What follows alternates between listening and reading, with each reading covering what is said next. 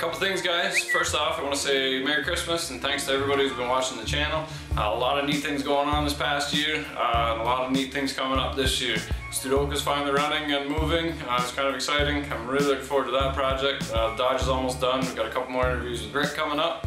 And uh, second of all, if you do want to get a tape boss for in time for Christmas, Christmas is actually next week, so it takes about a week to ship. So uh, go on tapeboss.com and go get yourself a little voice recorder. Um, they make great little stocking stuffers for anybody that uh, uses a tape measure and pays for itself pretty quick. I also want to say that a good chunk of the proceeds are going to go towards Rick's charity, Truth for Teens. Um, we used uh, some of the money to help some of the guys out that just need a little extra help to get going, uh, stay on the straight and narrow.